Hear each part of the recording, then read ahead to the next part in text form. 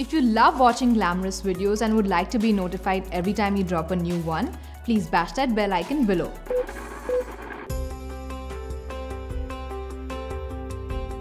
She's asking how does she bring glowing skin during her monsoon because the skin looks very dull. Yes, Mahima, I know. Now the monsoon is almost going, so maybe this is a redundant question, but nonetheless, I'll answer it.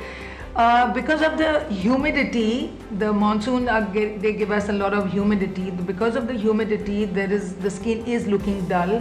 So one thing you have to do is exfoliate your skin. See, when the dead cells stick to your skin, that means it doesn't look shiny or glowing.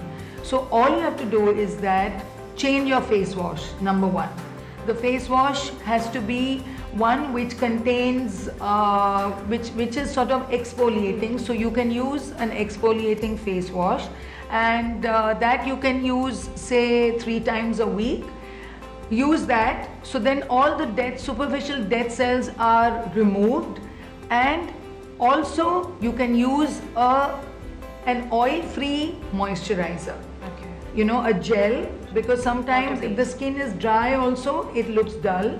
So use an oil-free, a gel-based moisturizer and of course a sunscreen. So do this and at night I would advise vitamin C creams or serums which are about 15% vitamin C that will help. Should I tell her about a DIY? I was just going to ask you, do you have a. DIY? Yeah, I have a DIY for this and uh, you know how everyone loves the DIY. go go to go back to your kitchen and take uh, moong dal. You know moong dal with chilka. So coarse grind it and uh, dry coarse grind it. Keep it in your bathroom.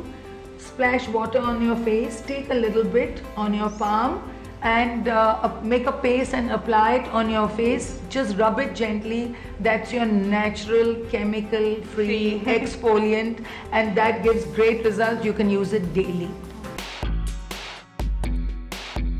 So this one's for dry skin. For this, you'll need uh, 5 to 6 blanch almonds, half a cup of cream, 2 teaspoons of sesame oil and 1 teaspoon tulsi powder.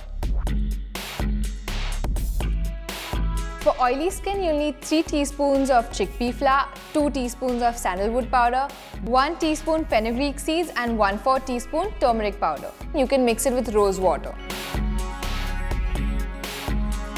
For pigmented skin, you'll need 2 tablespoons of besan, 1 tablespoon of cucumber juice, half a teaspoon of turmeric powder, 1 4th cup red lentil paste, 1 tablespoon of sandalwood powder and some oats. Mix all these ingredients to form a smooth paste. It should not be watery or too thick. And then after that, just apply it on your face in circular motions. Leave it on for 5 to 10 minutes and just wash it off with lukewarm water. You will see your face shine bright like a star. Thank you so much. Have a great day. Until next time, stay tuned and stay Glamrs.